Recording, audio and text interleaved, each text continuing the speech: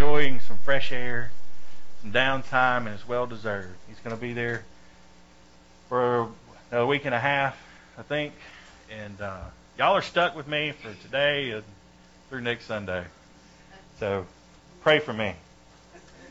Um, as I was preparing, as I was preparing for what message God had for this church today, and it's just as much a message for me as it is for anyone else sitting out there.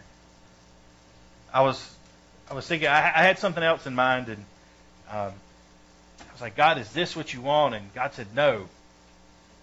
And uh, it, it's one of those things where He uses the words of another to guide you where He wants you to go. And I was I was speaking to a family member. I'm not gonna not gonna call him out, my sister, but she's not in here, so I can't embarrass her. Missed that one. But I was talking to her, and we were talking about fear, talking about being afraid of the unknown, the future. What does it hold? And I was like, God spoke to me, and he's he's like, this is this is what I want you to talk about, not about fear in general, but about how to overcome that fear. So this morning we're going to be looking at Joshua one, and I love I love this passage. Uh, Joshua one nine has been a favorite verse of mine for years, and uh, it, it's all about if you if, if you know it, it's about strength and courage. That's how we stand against fear.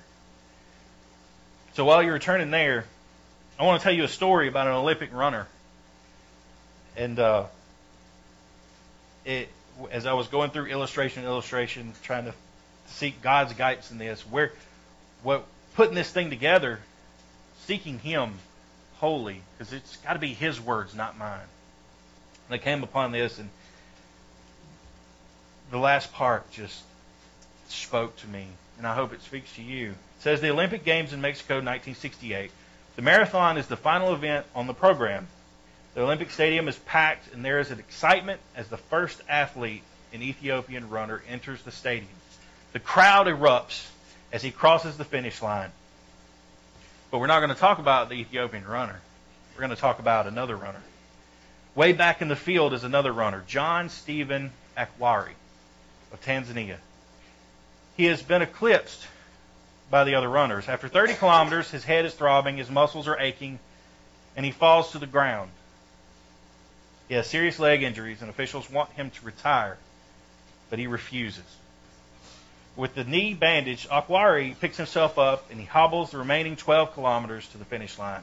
An hour after the winner has finished, Akhwari enters the stadium. All but a few thousand of the crowd have gone home. Akhwari moves around the track at a painstakingly slow pace until finally he collapses over the finish line. It is one of the most heroic efforts of Olympic history. Afterward, asked by a reporter why he had not dropped out, Akhwari said, "My country did not come, did not send me to start the race. They sent me to finish the race." Through pain, you know he had to have been scared. Is this it? You know, is this, is this the end of my Olympic career? Is this? Am I going to finish? Am I going to make it? But he pushes through and he finishes the race. Didn't matter if he was last. It didn't matter if he was first, but he finished the race. And you know he had to make his people proud. This is, we, we see Joshua here in, in Joshua 1. Uh, the book of the Torah, the, the Torah is the first five books, the Pentateuch is the first five books of the Old Testament. Uh, they cover from creation to the end of the story where Moses dies. And Joshua picks up where Joshua picks up. And uh, we're going to see here Joshua is not starting the race, but he's finishing the race. He's leading the Israelites into the promised land. God didn't call him to start, but he called him to finish. We find Joshua here being commissioned by God to lead his people into the promised land. Moses is dead. Joshua and Caleb are the only two remaining of the original group that have left Egypt. They've been wandering the desert for 40 years. Now, if you remember, he, Joshua and Caleb were two of the scouting party that went into the promised land when they first got there 40 years before. And they were the only two brave enough to come back and say, We can do this. The rest of them said, Let's go back to Egypt. They're too big, they're too strong. We can't do this. Can you imagine? After wandering 40 years, standing on the banks of the River Jordan, he had to have been afraid knowing their failures before. Not knowing what lay before him on the other side or how the Israelites would act or react once he says it's time to go. This is where we find him. In Joshua chapter 1, verses 6 through 9. It says, After the death of Moses, the servant of the Lord, the Lord said to Joshua, the son of Nun, Moses' assistant, Moses, my servant, is dead. Now therefore, arise, go over this Jordan, you and all this people, into the land that I am giving to them, to the people of Israel. Every place that the sole of your foot will tread upon, I have given to you, just as I promised to Moses, from the wilderness of the Lebanon to the as far as great river, the river Euphrates, all the land of the Hittites, the great sea toward the going down of the sun shall be your territory. No man shall be able to stand before you all the days of your life. Just as I was with Moses, so I will be with you. I will not leave you or forsake you. Be strong and courageous, for you shall cause this people to inherit the land that I swore to their fathers to give them. Only be strong and very courageous, being careful to do according to the law that Moses, my servant, commanded you. Do not turn from the right from it to the right hand or to the left, that you may have good success wherever you go. This book of the law shall not depart, shall not depart from your mouth, but you shall meditate on it day and night, so that you may be careful to do according to all that is written in it. For then you will make your way prosperous, and then you will have good success. Have I not commanded you? Be strong and courageous. Do not be frightened, and do not be dismayed, for the Lord your God is with you wherever you go. Let us pray. Heavenly Father, we pray this morning that your Spirit would be poured out amongst us here today, that your Spirit would penetrate our hearts as we seek to worship you, as we seek to praise you, as we seek to hear a word from you. Lord, I pray that it is not my words this morning, but yours.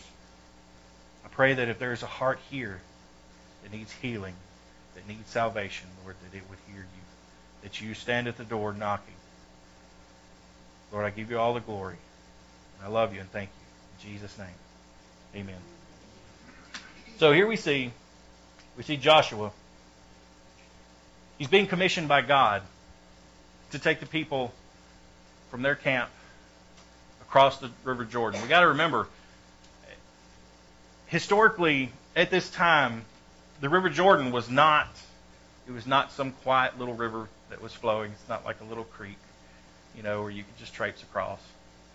Uh, it was actually during spring after the the there was a melt and the river was actually flowing. It was rushing. And here's God telling the, Joshua, take my people across the river into the promised land. He had to have been afraid. I mean, there's just this massive river in front of him. He had to have been afraid.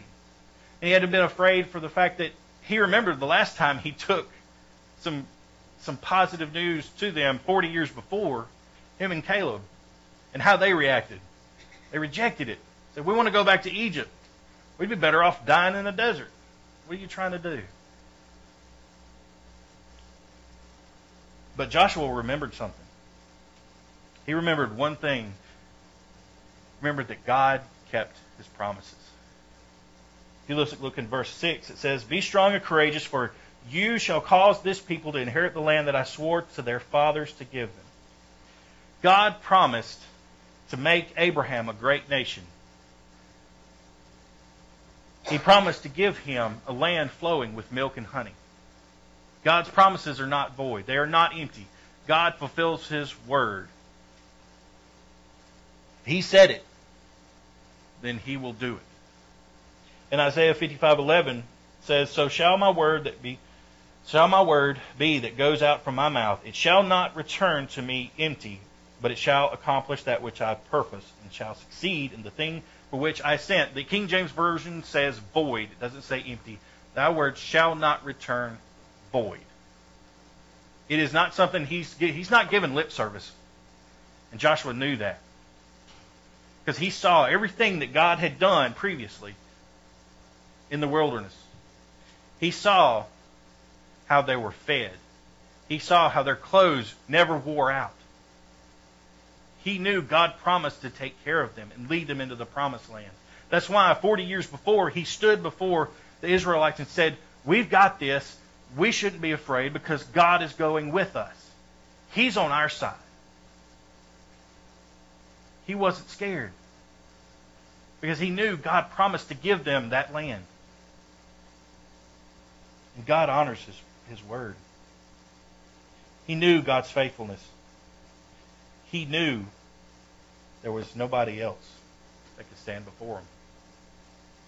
Isaiah 43 2 says, When you pass through the waters, I will be with you, and through the rivers, they shall not overwhelm you. When you walk through fire, you shall not be burned, and the flame shall not consume you. Let me tell you, brothers and sisters, it doesn't say in here that the Bible, Bible doesn't say that your life is going to be easy. It doesn't say that your life is not going to be scary. But it does say right here, when you pass through the waters, I will be with you. He promises to go with you, church. He promises to go with you when the times are hard. He promises to go with you. His promise will be kept. He will never leave you nor forsake you. He promised that too. He promised He loves you. All of these promises He made, He keeps. Joshua knew that. Jesus promised that He was going to prepare a place for us and that He would come back to take us to be with Him in John 14. He promised to give us the Holy Spirit, which now lives us in every believer today in John 14, verses 15 through 17. He promised to be faithful and just give us, just forgive us when we confess our sins in 1 John 1 9. We were talking about in that, that in Sunday school this morning. Faithful and just forgive us when we confess our sins. It doesn't matter if we slip or stumble. We are His children. He loves us. And I just knocked across. I'm going. Woo! Don't punish me for that, Lord. You know. But it's important that we know that God's promises are kept. That is who He is. He's a God of His Word. That's how Joshua could be strong and courageous, because he knew God kept His promises. So let us not fear, for the God Almighty keeps His promises. The second thing that Joshua noted, that, that the text says, is Joshua was to be obedient. God kept God keeps His promises. That's one way we we should be strong and courageous. We should not fear. But we can stand strong and courageous in our obedience. In verses 7 and 8, it says, Only be strong and very courageous, being careful to do according to the law that Moses my servant commanded you. Do not turn from it to the right hand or to the left, that you may have good success wherever you go. Verse 8 says, This book of the law shall not depart from your mouth, but you shall meditate on it day and night, so that you may be careful to do according to all that is written in it. For then you will make your way prosperous, and then you will have good success. In being obedient, Joshua knew that he would be successful. This is important. It is important that we take this word every day with us. This is our guidebook. This is our owner's manual. This is how we walk and live every day. Joshua knew that. That's why Joshua remained faithful when others did not. Even standing around this crowd of Israelites that, are shouting, Let's go back to Egypt, Joshua still kept his word. He still said, We can do this. We shouldn't be afraid. God promised us this. And he stayed faithful to that. Yeah, the Israelites hadn't had a good track record, have they? Up until this point. They griped and complained about everything food they were eating, being stuck out in the desert. You know, we'd be better off. Let's go back and be slaves. That sounds like a great idea, don't it? Instead of listening to God and being obedient. More water. Yes. I, I have some down here, but I appreciate the thought, though. It's important. Joshua knew it was important to be obedient to the word because, see, God's word lights our way, just like it was lighting Joshua's way. God's word also reveals his will. It reveals truth. It keeps us accountable. It keeps us on the right track. God was telling Joshua and telling us today that we are to read his word. We are to read it. We are to memorize it. We are to pray over it. We are to recite it. We are to consume it.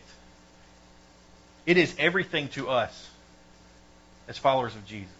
It is our bread. It is our food. I told uh, uh, the church in Mount Olive when I, I went down there last Sunday night, and we were going to start picking apart Hebrews. And I said, when you eat something, what do you do? You cut it in small pieces. You chew it, small pieces. So uh, that was my that was my goal is to we'll, we'll take Hebrews and we'll start at, at chapter one, verse one, and we'll we'll take it a few verses at a time. We didn't make it out of the first verse, but it, it was good. It was blessing. It was edifying. It was everything that God's word that God said this Bible would be. It was everything we needed. It equips us for doing God's will. God was telling Joshua to go. He knew what Joshua was going to face. He knew what was on the other side of that river. And it was Joshua's obedience that led them over there. It was Joshua's obedience that made them stand against giants, that made walls fall down, church. We have that power today to make walls fall down. Yet we want to stand back and be afraid. I can't let anybody know that I'm, I'm, I'm a Christian. I, I can't tell anybody about Jesus. That's not obedience. Joshua did it. Joshua went across the river with the Israelites. Joshua stood at the walls of Jericho. And through his obedience, God knocked the walls down and gave them over to the Israelites because of obedience. God promised that he would, and through Joshua's obedience, he did. Matthew 24:35 says, "Heaven and earth shall pass away, but my words shall not pass away." This book boys and girls, is timeless. My brothers and sisters, this word is never going to fail you. It's never going to lead you the wrong way. It's going to. You, you want a life change? Open that book, spend some time in the Word. Spend some time in prayer. That will change your life. It'll change your life for the better. It's necessary for survival as well. It not only equips us, but it's necessary for survival. Like I said, it's spiritual food. But in obedience to God's word and knowing God's word, He blesses us. May not always be monetary blessings. It may not always be material blessings. Sometimes that blessing is realizing what you do have. I can tell you a few years back, sitting in a homeless shelter with my wife and two boys, when you're at the mercy of everyone else, and you're told where you can go, when you can go, what you can have to eat, when you can eat, when you're at the you're at somebody else's mercy like that, you would think, oh, it's horrible. Life is horrible. It's terrible. But I remembered the blessings that I have, my wife and children, and most importantly, I had a God that was providing through those people. The world was telling me, you are being restricted. You are being constrained. You can't do this. You can't do this. You can't do what you want. But God, in His mercy, in His grace, in my obedience, was providing for my family. He promised to take care of us. I didn't have anything to fear. Nothing. Because my God was with me. And He was taking care of me. And when your kids sit there and say, this doesn't matter, as long as we're together, that's a blessing. So sometimes the blessings aren't material. Sometimes they're not financial. Sometimes they're sitting right there in front of you. So Joshua stayed focused because he knew in order to survive, that he had to be obedient. He had to keep God's word at hand all the time. If you if you read in the in the Gospels, you you see Jesus was tempted by Satan. What did God do with each temptation? He recited Scripture. He used it as a weapon to rebuke the one who sought to destroy us. He said, Man shall not live by bread alone, but by every word that comes from the mouth of God. You don't need fancy cars. You don't need big homes. You don't need you don't need millions of dollars. But you need salvation.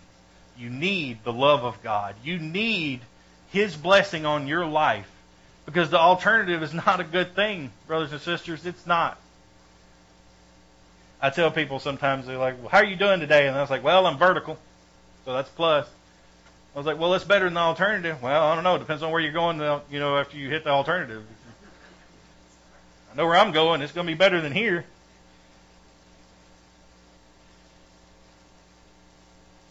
But God told him, God told Joshua in verse 8, He says, Never let my word depart from your mouth. He says, meditate on it. Now, we're not talking about some Eastern Indian meditation type thing. Sit, think.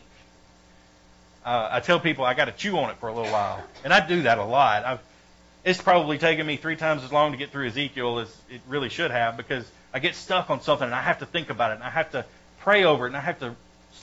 I've, you, Lisa can tell you, I've got books all over my desk and on the floor, you know, commentaries and, and dictionaries because I want to stop. I want to see what it says a little more in depth. That's what we got to do. Pray over the scripture. If something sticks, if God gives you something, if you're reading scripture and, and God says, okay, stop here, let's let's think about this a little bit. Pray over it. Pray it. Say it out loud. Tell it to somebody. Don't let it depart from your mouth. That's what he was telling Joshua to do. Keep it. Keep it as your center, as your focus. Stay focused on me because that's where I am. You find me in there. You will see my character revealed in my word. And it was through Joshua's obedience in doing so. Again, he didn't have to fear. He was strong and courageous. That's what God was telling him. You can be strong and courageous. You can find strength and courage because I keep my promises. You can find strength and courage in obedience to my word. It says, open it, read it, meditate on it, memorize it, obey it. Obey it. We can read it all day long until we put it into practice. It ain't gonna make a difference. I can read a dictionary, but unless I actually you know, commit to learning what how to spell the words or learn what the words mean and put it into practice, I don't know how many times I've used words that don't make sense in the context, but you have to put it into practice. You have to read Scripture and you have to take it and use it. That's what it's for. Joshua knew that. See, you're not alone in this journey either. You're not alone in this journey. You're not out here in life all alone. Joshua knew that as well. God was telling him, I keep my promises. Just obey my word and you can find strength and the courage because God goes with you. It says in verse 9, Have I not commanded you? This is I love this verse. Have I not commanded you? Be strong and courageous. Do not be frightened. Do not be frightened. God's telling you, church. You don't have to be scared. Do not be frightened and do not be dismayed. The word dismayed, it it means to give up, to feel overcome, to lay down in, in, in fear. That's not what he's telling Joshua. Telling John, Joshua, you don't have to worry about this. You can go in all the strength and all the courage. Why? The Lord your God is with you wherever you go. I could have started the sermon out and stopped right there. We don't need fear. We have a God who is bigger. We have a God who is mightier. We have a God who is more loving than anything than this world can offer. God, the King of Kings, the Lord of Lords, says he will go with you wherever you go. Imagine Joshua. Imagine Joshua couldn't help but feel strengthened and encouraged, to feel brave, to face that overflowing river on into the land of the Canaanites, facing only God knows what. He could go because God went with him. You remember back in Isaiah when I said, Isaiah 43, verse 2, it says, When you pass through the waters, I will be with you. And through the rivers, they shall not overwhelm you. When you walk through the fire, you shall not be burned, and the flame shall not consume you. God goes with you. God said, I will be with you. When you are alone, I will be there. When you feel tired, I will be there. When you feel all hope is lost, God is right there. You're not alone. All hope is not lost. Remember, He keeps His promises. He's always there. I can't help but ask myself, why? Why would God want to stay with me, a wretched sinner? Because He loves me. He loves you. That's why He stays with you. He walks with you. He walks with you through the waters. He's there with you in the fire when things get hard, when when the bills seem too much and there's you wondering where your next meal is coming from, brothers and sisters. God is there. He's working. He's providing in some way or some fashion. It may be through someone else. It may be through a church. It may be through some extra work. God's going to work and He's going to provide. You may be may feel alone, uh, rejected, abandoned, because that's what the world's telling you. You don't deserve to be loved. God is there. He's there to love you. He's there to walk with you. You don't have to walk in this world in fear. You walk in hope. You walk in strength and you walk in courage. You go into the promised land. The blessings God has for you. Just like Joshua. What does this mean for you and I going into the promised land? It could be anything from going across the street to tell somebody about Jesus. It could mean going to a hospital or to a prison. It could be just you going to God's Word to find Him. Praying a prayer when you feel lost and abandoned. When you feel hopeless. When you feel like you've sinned so much that God would never take you back. He's still there with you. And He's still calling you. Keep my promises. Come back to me. You don't have to go in fear in anything anymore. As a believer in Jesus, go in strength and encourage, just like Joshua was being told to do. Psalm 23, verse 4. Even though I walk through the valley of the shadow of death, I will fear no evil. Why? For you are with me. We fear nothing because we have a God who has overcome everything. You should fear nothing. You shouldn't fear other people. You shouldn't fear evil. You shouldn't fear death. Because we have a God who gives us strength. He gives us courage. He will lift you up, as he said in Isaiah 40, 41.10.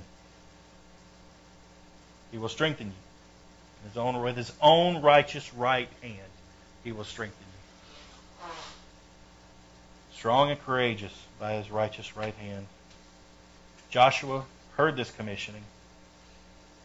Joshua heard this command. He recognized that God kept his promises. He recognized the importance of being obedient. He recognized that God will go with him when he crosses the River Jordan with the Israelites. What was his response? You look in verse 11.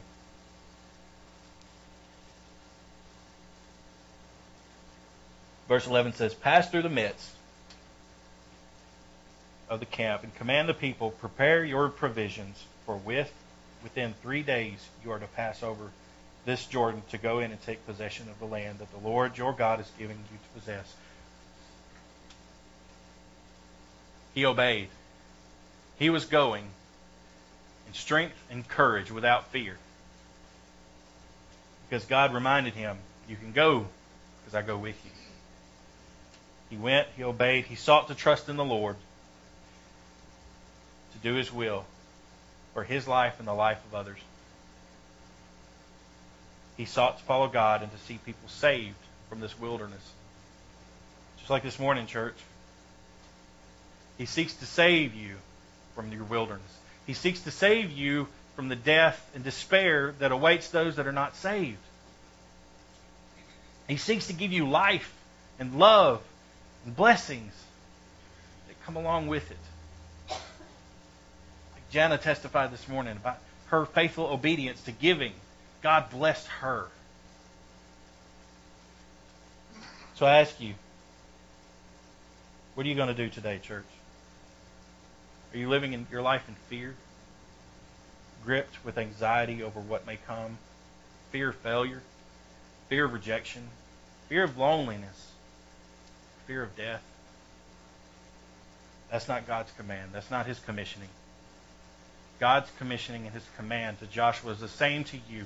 Be strong and courageous, as I keep my promises. Be strong and courageous in your obedience. Be strong and courageous because I go with you. If you want to leave this fear behind today, if you want this strength and courage today, I invite you this morning to come. Come to this altar. I will be glad, I'll be glad to, to pray with you. I'll be glad to, to share with you the life giving grace that God is offering right now. God's saying, I love you. You don't have to fear anymore. Come to me. Jesus is calling you this morning. I'm going to ask Jana to come up. If you need prayer for anything, if you have something you're struggling with and you just want somebody to pray with you, come, come forward. I will pray with you. We will take it before the throne of grace.